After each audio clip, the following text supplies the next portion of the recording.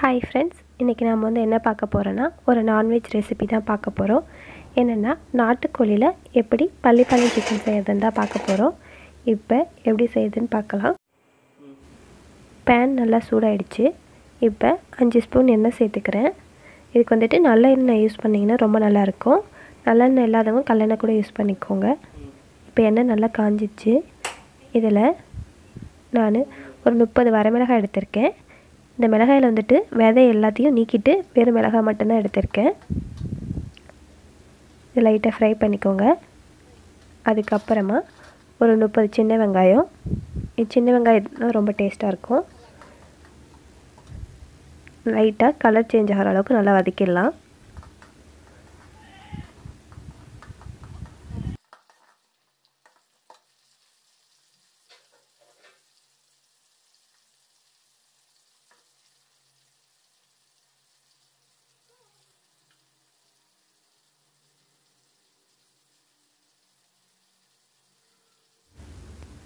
இப்போ பாருங்கள் நல்லா கலர் சேஞ்ச் ஆகிடுச்சு இந்த மாதிரி கண்ணாடி மாதிரி வந்தாலே போதும். நல்லா வறுபட்டுருச்சு. அடுத்ததாக நான் மூணு ஸ்பூன் இஞ்சி பூண்டு பேஸ்ட்டு சேர்த்துக்கிறேன். இதை நல்லா பச்சை வாசனை போகிற அளவுக்கு நல்லா வேகட்டும். அடுத்ததாக கொஞ்சம் கருவேப்பிலை சேர்த்து நல்லா கிண்டி விட்டுடலாம் அடுத்ததாக கொஞ்சமாக மல்லி இலை எல்லாம் சேர்த்து நல்லா கிண்டி விட்டுருங்க.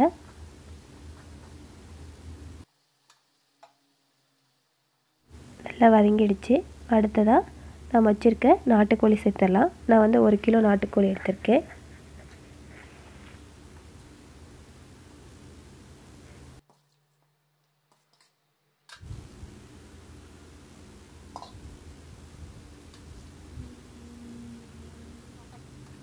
இப்போ எல்லாம் சேர்த்து நல்லா கிண்டி விட்டுறலாம்.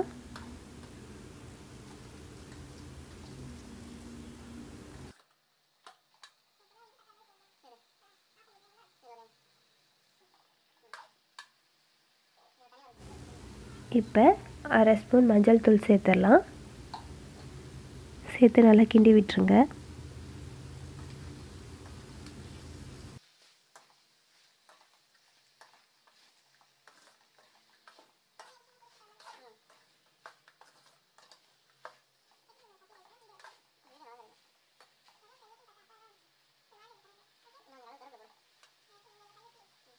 அடுத்ததாக தேவையான அளவு உப்பு சேர்த்துடலாம் உப்பு சேர்த்து நல்லா கிண்டி விட்டுருங்க.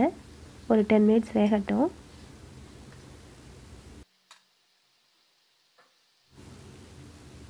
அடுத்ததாக தேவையான அளவு தண்ணி சேர்த்து நல்லா மூடி வச்சு வேக வைங்க.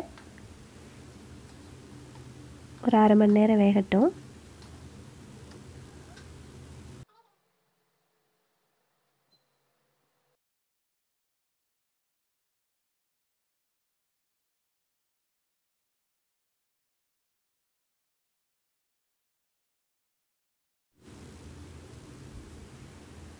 இப்போ அப்பப்போ எடுத்து இந்த மாதிரி கிண்டி விடுங்க.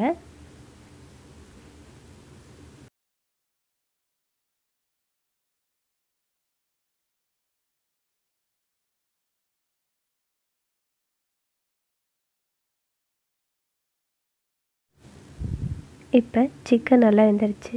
இதில் நம்ம இந்த மாதிரி கீத்து கீத்தாக கட் பண்ணி வச்சுக்க தேங்காய் சேர்த்துடலாம். நான் நூறு கிராம் தேங்காய் எடுத்திருக்கேன்.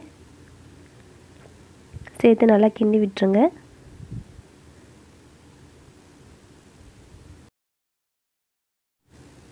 இந்த தண்ணி ஃபுல்லாக ட்ரை ஆகிற அளவுக்கு நல்லா சுண்டட்டும்.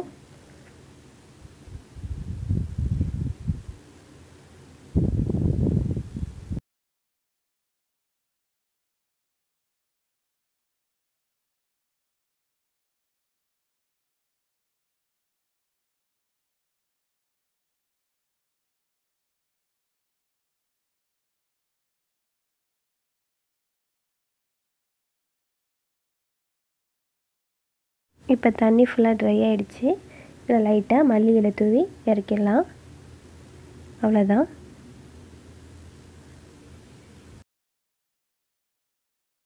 இதே மாதிரி நீங்களும் ட்ரை பண்ணி பார்த்துட்டு எப்படி இருக்குன்னு சொல்லுங்கள் பாய் தேங்க்யூ மறக்காமல் சேனலை சப்ஸ்கிரைப் பண்ணுங்கள் அதே மாதிரி பெல் பட்டனையும் கிளிக் பண்ணுங்கள்